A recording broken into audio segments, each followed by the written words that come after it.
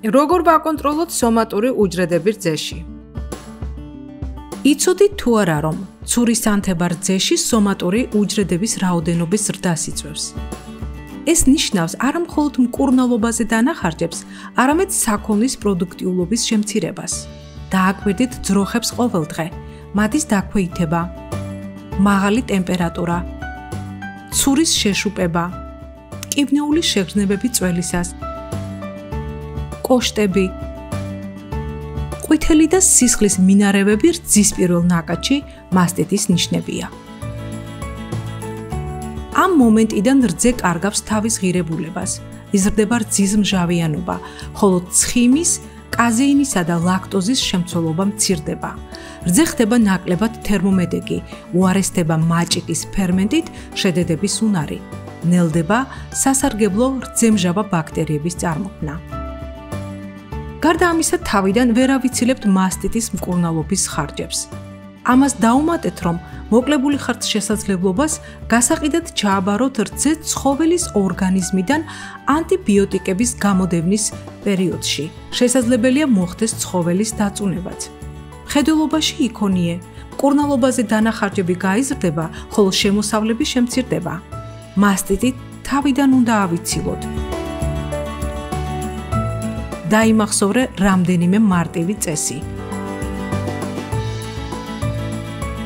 უზრუნველყავი ძროხების კომფორტი. შეინარჩუნე ჰიგიენა საქონლის სადგომში. ანტისანიტარული პირობები იწვევს ბაქტერიული დათესვიანობის ზრდას, რაც თავის მხრივ ძროხებში ინფექციის განვითარების რისკს წარმოადგენს. რეგულარულად დაასუფთავე და მოახდინე საქონლის ბაგისა და სადგომის დეზინფექცირება. უზრუნველყავი ძროხები სუფთა და მშრალი ქვეშსაფენით.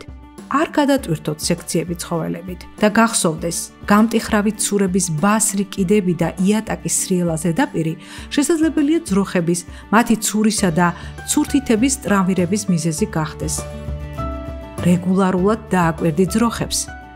გამოავლინე და დაამუშავე დაზიანებები, ჰემატომები და ჭრილობები. ყოველდღურად შეამოწმე ცურის ტკივნეულობა, ანთება და სიცითლე.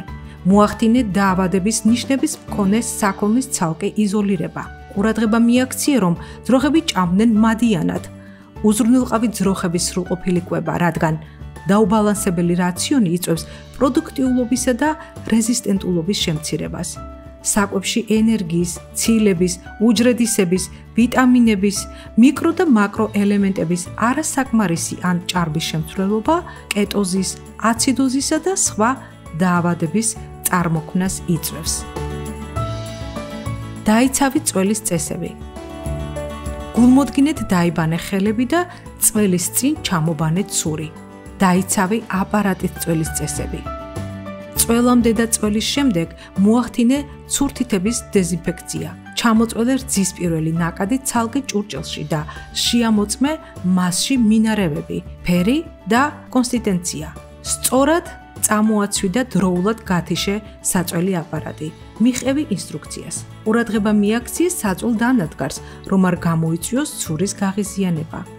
ყოველი წველის შემდეგ გარეცხე და მოახდინე მისი დეზინფექცირება.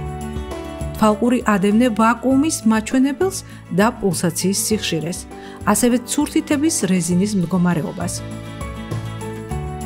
პროფილაქტიკა ყოველთვის ჯობს მკურნალობას. კვირაში ერთხელ ჩაატარე კალიფორნიული ტესტი მასტიტზე. თვეში ერთხელ ლაბორატორიაში ჩააბარე თითოეული ძროხის რძე სომატური უჯრედების რაოდენობის დასადგენად. ნახე, მას ვინც ყველაფერს აკეთებს ისე, როგორც საჭიროა. ყავს ჯამრთელი ძროხები, საუკეთესო ხარისხის რძე და შემოსავალიც მეტი აქვს. ჭკვიანურად მიღებული რძე იწება ჭკვიანი ფერმერით.